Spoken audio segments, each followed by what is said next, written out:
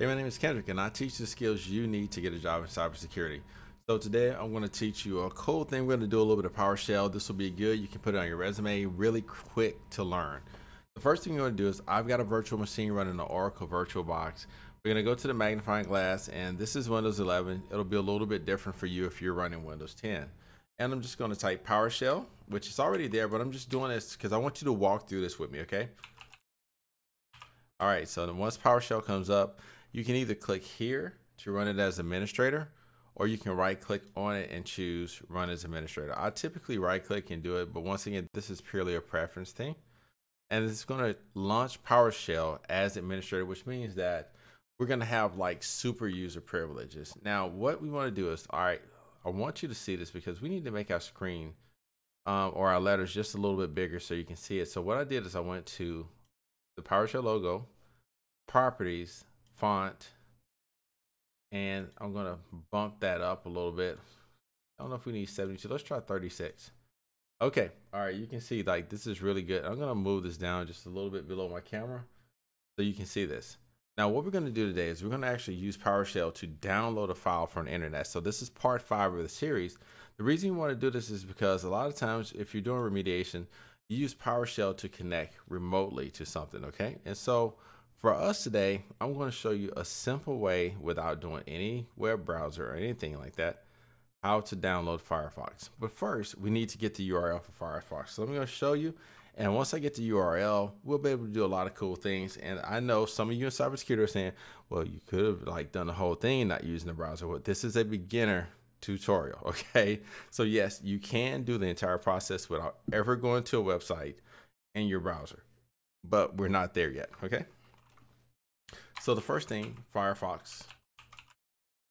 Like Firefox, let's search for it. And I, I know you're saying, oh my gosh, he's using Edge. Once again, this is on my virtual machine. I'm just using kind of what's natively here.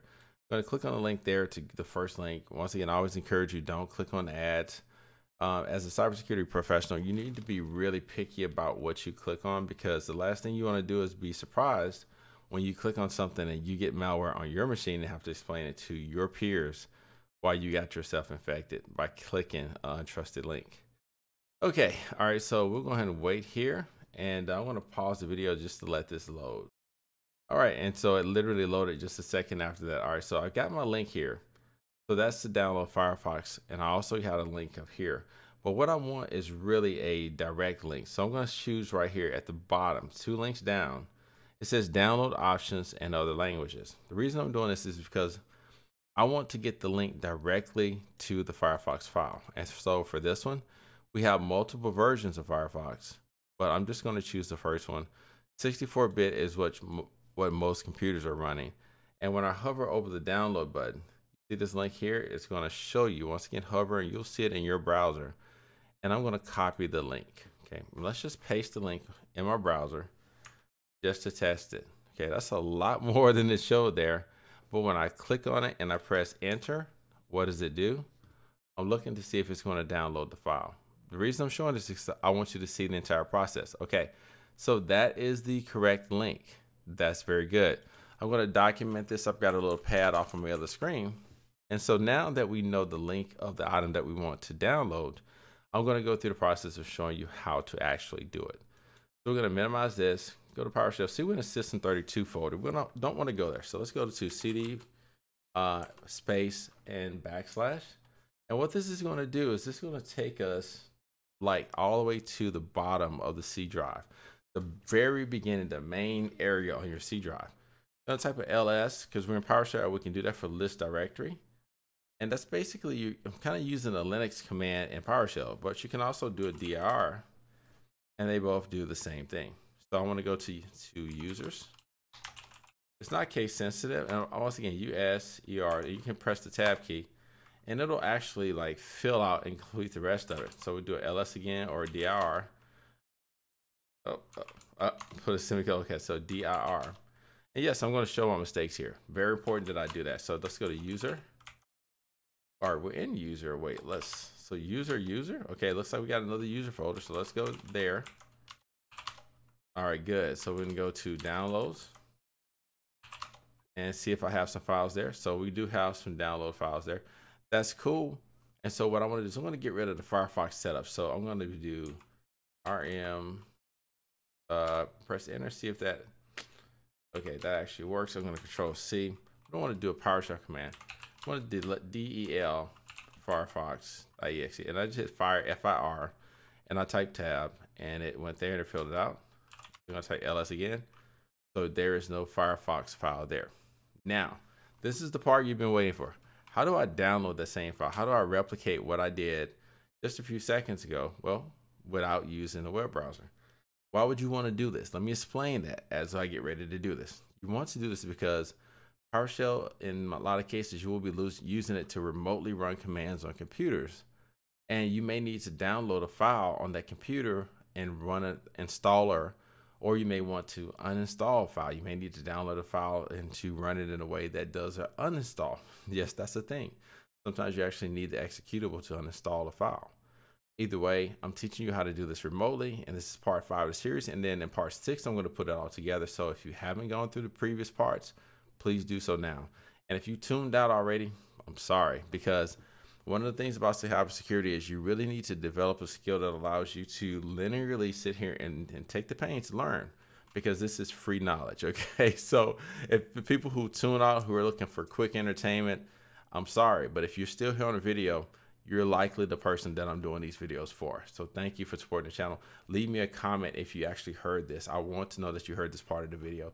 I want to like actually interact with you and talk to you. Okay. I got to get better at that, but I'm going to work on it. Get down, microphone. See, they missed this blooper moment. Okay, so let's get started. We, in order to do this, and we're six minutes in the video, just getting ready to do this. This is not good, probably, but anyway, we're gonna type invoke dash web, or some people will say tac. If you hear me say tac, I'm talking about the minus sign or the dash sign. Okay, so invoke tac, but I want you to get in the process or get in the kind of the habit of saying tac instead of dash. Okay. It's what's accepted in the field. And if you say dash, people will kind of like, no, you're kind of like not really part of the field. Um, most people are, are pretty decent. They won't say anything, but yeah, use the sign tac. Okay. So invoke tac web and see how it completed that for me. Web request minus URI. And URI is the same as the URL. Okay. That's the link to the website. And you remember I copied that over before? I showed you how to get that because that's part of this step six. So I'm going to right click and I'm going to paste that in. Okay, so that's the actual link to download Mozilla Firefox. And then at the end of this, I want to, oh, and I made a mistake here. I need to put this in double quotes. Okay, so I think it'll run without it. But let's just in case. Okay, so double quotes there, space. And then you want to type a out file this is where the, the file name that you want to output. So you can rename it to anything else. Just because you, and this was cool about it, like when you download stuff from the web in your browser, you have an option to, you can kind of change the name to whatever you want it to be once it's right before it downloads, right? But you can do the same thing here. So out file equals, and we're going to just say firefox.exe. Okay. And then space and we're going to do pass pass through. The reason we do the pass through command is it gives us some feedback. If you run these commands a lot of times, you may not see anything. So commands that support the pass through option, I use the pass through because it'll give us some output that and let us know that the command is running uh, and helps us to understand if it was successful or not. Okay, so mine is our tac pass through, and then we're to do a, a resume. I actually uh, don't need to do the resume. I just want you to know about it because if my understanding is correct, this is going to allow you, if the file messes up, it'll resume. You know what? Let's find out. If not, I'll take this out and we'll get a gem here. But I, I like to try things. So here's a good example. Uh, this matches the syntax I have documented. So let's press the command. Let's see what happens. Mm.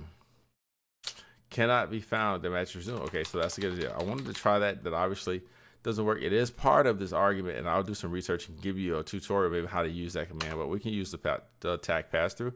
Look at there. You can see it's showing that it's downloading right now. And this is pretty cool, right? So you're actually downloading the file from the internet, which means that once I teach you in this tutorial how to actually browse the internet, how to grab things and find out what's on a website and stuff like that, this can be pretty handy. But once again, we're going to stay in a bit of beginner zone. And, and at this point in this series, there may be one more PowerShell before I start showing you how to remediate vulnerabilities. And so this, I want you to know this because this is a critical step in vulnerability remediation, specifically being able to connect to machines remotely. So this shouldn't take long, but I'm going to pause the video here and I'll be right back once it finishes. Okay, so we just finished. Oh, well, we're almost finished. I thought it, we did got a few, a little bit of output here. So a 200 web request, that means it was successful. That's what you're seeing when you get a 200. That's what we want to see. And uh, this is giving some additional information. Uh, not sure what the rest of it is. That there's, I guess that's the HTTP headers for this for the uh, site and the download. But we'll dig into that stuff in the future if necessary. But once again, I want to stay on track here. A little bit further to go, but I'm going to unpause the video again. We'll fast forward and we'll get to the actual step of verifying the download. Okay, all right, so it looks like everything completed. Now we're going to type ls again. And we should have a file called firefox.exe. And so we have successfully used the PowerShell command to download a executable or program. And this, by the way, this doesn't just work on executables. This is pretty much any file that you want to bring down, you can do so uh, by using this PowerShell command. And there are additional commands that go along with it, but for the sake of this tutorial, we're just going to use the beginner guide. So I hope that you will stick around for the next series because we're getting very close. We're going to actually be digging into the real meat. I'm going to be showing you some vulnerabilities and then I'm going to be showing you the remediation for those vulnerabilities. And these are things that you can actually put on your resume saying that you understand how to do vulnerability management. Very important. But anyway, hope this video was very helpful. Don't forget to, to drop a like on the video. Uh, let me leave me some comments, especially if you reached it to end the video. You know, hashtag invoke dash tac web request. you know.